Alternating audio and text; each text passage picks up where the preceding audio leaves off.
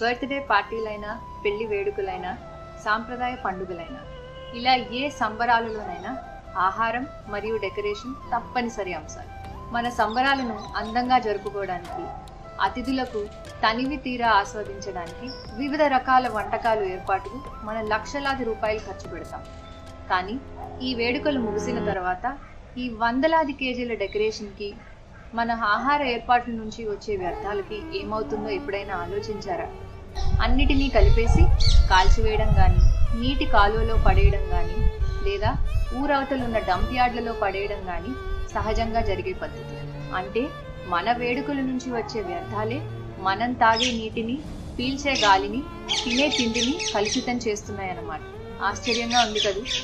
కానీ ఇలాంటి హానికరమైన పరిణామాలకు తోడ్పడేలాగా వేడుకలను జరుపుకోవడం మన ఉద్దేశం కాదు కదా?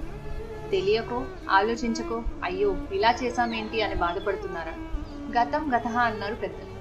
ఇకపై జరుపుకోబోయే వేడుకలను ఇంకొంచెం బాధ్యతావహితంగా జరుపుకోవాలని ఆశిస్తున్నారా?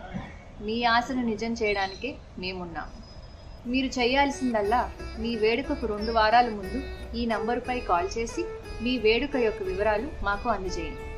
మీ వేడుక ముగిసిన తర్వాత మీ డెకరేషన్ వ్యర్థాలను ఇతర బయోడిగ్రేడబుల్ వ్యర్థాలను మేము తీసుకొని మా ఆశ్రయంలో ఎరువుగా మారుస్తాం. వేడుకలలో బయోడిగ్రేడబుల్ వ్యర్థాలను విడిగా సేకరించడం ఎలా అని ఆలోచిస్తున్నారా?